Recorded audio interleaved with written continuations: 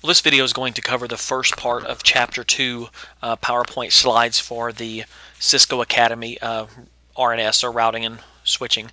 And so we're going to cover through about the first part. I'm going to try to keep it short, um, under 15 minutes, and then we'll go from there. And then the part 2 um, should be on my channel as well.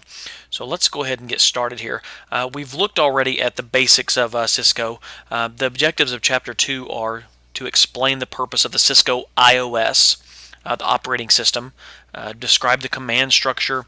Um, we're going to look at the uh, command line interface, and which is the um, um, which is our command line. Uh, if you've worked in DOS or if you've worked in Linux uh, command line, um, it works the, about about the same way. It's it's a command line, um, no GUI, no uh, graphical user interface. Um, it's just going to be a, a, standard where we put in commands. So chapter two is going to cover the IOS boot camp. It's going to talk about what the IOS is. We'll go through that rather briefly, and then part two um, we'll go to the basic part. We'll look at addressing schemes, and then we'll do a summary on the uh, second video. So when we talk about the IOS Bootcamp, this is a standard um, this, this is a standard layout of uh, two switches, two computers here, uh, two switches, um, and they're passing back and forth. And let me get my pen turned on here so I can write. So when we're talking about the operating systems, all if, if you remember back to your A plus or if you know your hardware, uh, we have hardware and we have software. All hardware has to have some type of operating system to function. For us to be able to interact with that hardware, we have to have some type of operating system. And with Cisco equipment, it's called IOS. So um, end users, PCs, laptops, smartphones, tablets, it doesn't matter. If it's some type of hardware, it has some type of operating system on it. So in the Cisco world, we talk about routers, switches, uh, wireless access points, and firewalls. And the Cisco Internetwork Operating System, or IOS, is a collection of operating systems used on those devices. So when we look at that, it's broken down to we have the hardware layer, uh, and this is our actual hardware. This is our our processing, our memory, our um, uh, you know our any graphics uh, graphics cards that we have on there, um, and then we have a kernel, and then we have the shell and that's our operating system. That that builds our operating system on there. We have command line. Um, some operating systems have a GUI or graphical user interface. Um, that would be a, like a Windows 7, Windows 8, um, Ubuntu. If we're talking about the Linux world, uh, Ubuntu has the graphical user interface. In the Cisco world, we deal with just with the CLI or command line interface. Now, the purpose of our operating system is to allow us to be able to interact with that hardware. So we can use a mouse, we can view output such as a monitor uh, through a graphics card. The operating system takes care of that. It is the um, the go-between between the hardware and us so that we can intera interact with that hardware. On a switch or a router, the IOS provides configuration interfaces. It allows us to be able to configure the router or the switch or the firewall. It allows us to be able to go in and change uh, settings on that device. And so all networking devices come with the default IOS. Um, all networking devices do. Uh, we upgrade them, and as, as, you get farther into the course, you'll see uh, more about um, some the, the, the type of um, IOSs that go on those and the, and the different versions. Now, the IOS is stored in flash memory. Uh, if, if you've dealt with actual um, switches or routers, uh, you'll know that you can uh, on routers uh, you can remove that flash memory and you can um, put it into a computer or upgrade it. Um, the standard is about the 74 meg CF card. Um, it's non-volatile, which means that if you turn your device off, it's going to retain that information. Volatile would lose that information, and that's something like a random access memory or RAM. But in this case, it's on flash and it's not lost when you turn the power off. It can be changed or overwritten. Overwritten. It can be used to store multiple versions of the IOS. IOS copies from the flash to a volatile RAM, so when it boots up, the um, Cisco system sees the flash information and it copies it over to the RAM, which is then volatile. So our which you'll learn later, you have a running configuration, uh, and that gets loaded off of the flash into the RAM. Is your running configuration. So the quantity of flash and memory uh, determines, so it really determines on the flash card there of, of um, the IOS that can be used.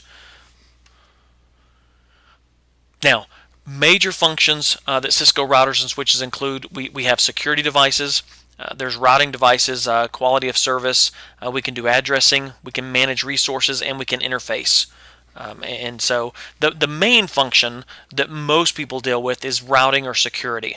Uh, routing and security. Now we get into these other areas, but that's that's mainly what you'll see in, um, in, in this course of the routing and security. Now this is the back of a 1941 router. Um, it's um, showing you how we would connect in. There's three different ways that we can command line interface or CLI.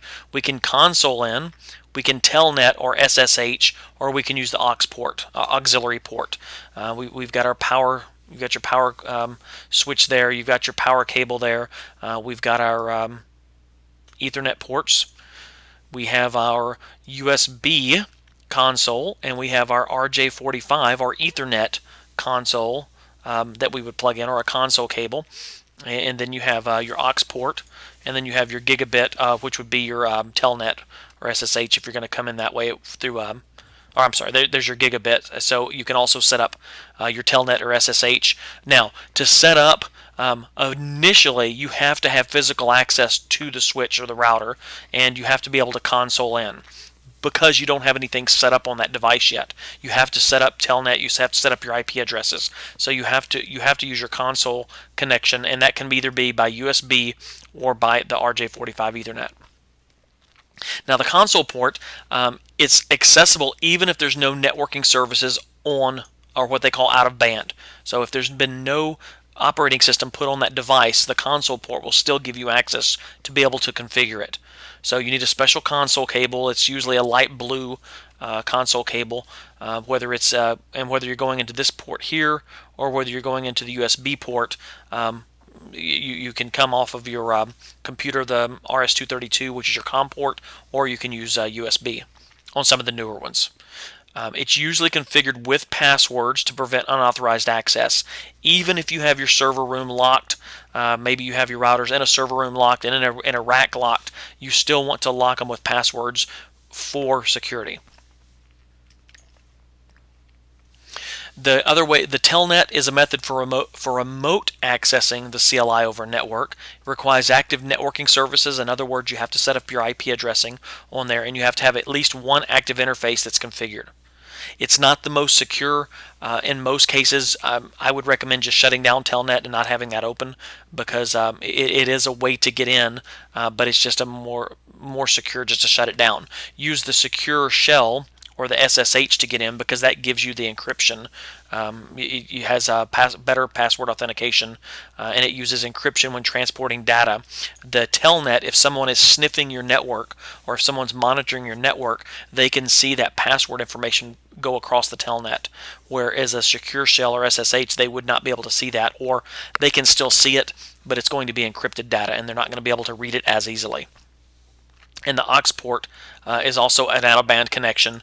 It uses a telephone line. That's if you're going to dial in, uh, you're going to have that, and it can be used like a console port. Uh, but typically, um, you would have to have a landline uh, set up for that, and um, we just don't deal with those a lot in this day and age. Now, when you're connecting in on the console, you're going to need to have some type of software. Uh, typically, when I've done this in the past, I've had a laptop and I've uh, used a software called PUTTY or PuTTY um, and you can get it offline. Just Google it; you'll be able to find it. Teraterm is another one you can use. Uh, th those are two of the main right there. They're free. Uh, they're open source. Uh, you can get them offline. Uh, there's Secure CRT, Hyperterminal, and OSX Terminal as well. Uh, if you're on a Mac, you can use the OSX Terminal. You just have to configure it based upon uh, if you're going in through SSH look here on our thing here you have to go to SSH and you would have to set in your IP address here you know whether it was going to you know 192.168 whatever you're going to set up on there you know 10.1 and then what the what ports open for the SSH uh, if you're going to use telnet you would have to do the telnet again I recommend only using SSH through non-console means. If you're going to use a serial, you would do the serial connector there. You would connect into the serial port and then you would connect and get in. Now, this is um, when we talk about modes of operation. This is something that um, uh, it takes a little bit to kind of understand, but once you understand it, um, or let me let me back up. You need to understand where you are located in the IOS at all times. So, and you can tell that, and knowing where you're located is going to tell you what you can do. So when you first get to the IOS, you are in user exec mode.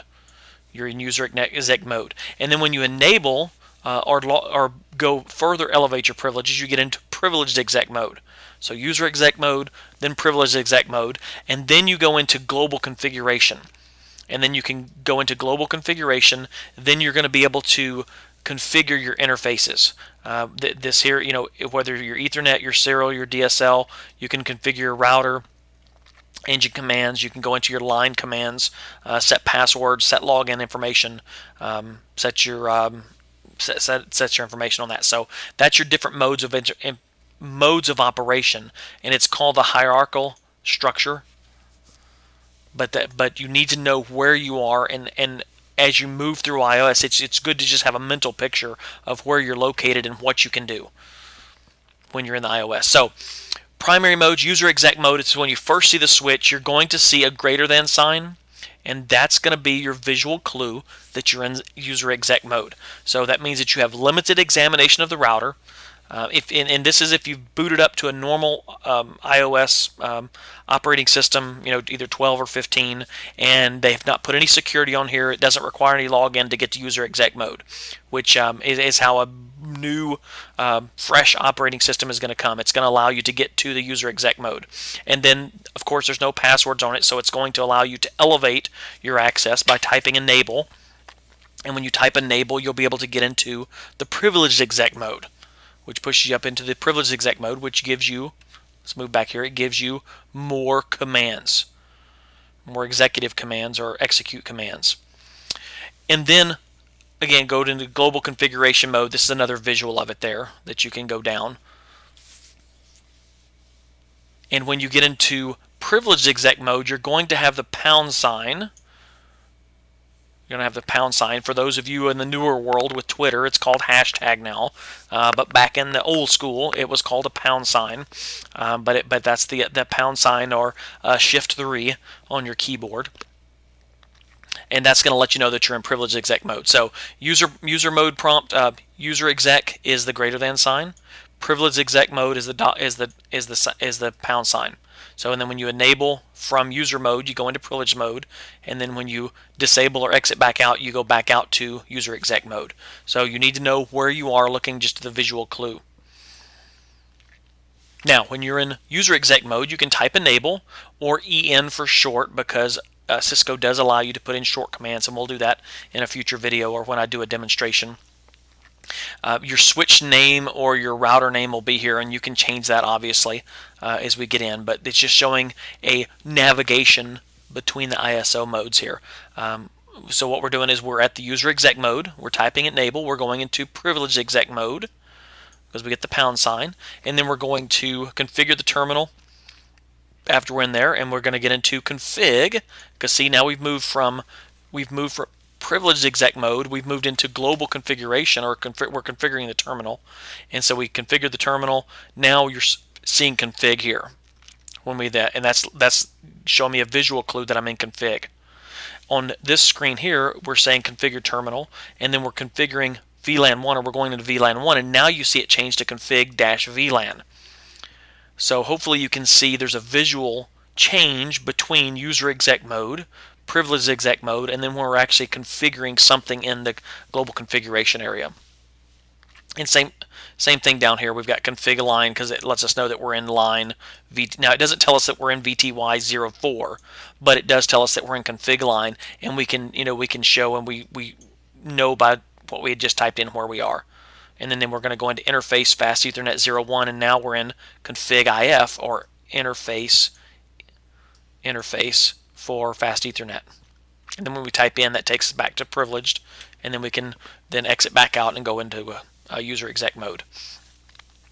Now this is another visual of what you see at the command line. We've got the, the this is our switch name You've got the name of your switch. This is our letting us know that we're in user exec mode. This is our command that we're putting in. In this case, it's ping. You have to put a space in, and then you put your keyword or argument. In this case, this is our IP address, and that's going to return a ping. It's going to ping the 192.168.10.5, and it's going to return a ping back to us. on there. And that's, you know, again, it's just showing you a visual of where you are on your structure. So what you want to do is uh, if you navigate to the Cisco's command reference to find a particular command, you can go to cisco.com, you can click support, um, you can click networking support, and I believe those should still be working. Uh, you can do the 5.15.2, do the reference guides, click on command references, and that will list all the command references on there. And then you can uh, click on technology that encompasses command you're referencing, and you can find all, everything out there about that. So this is a good guide to go out and check out. Um, I, I have a text, um, I have a Cisco Press book um, on the command lines, and I'll show you that here in just a second.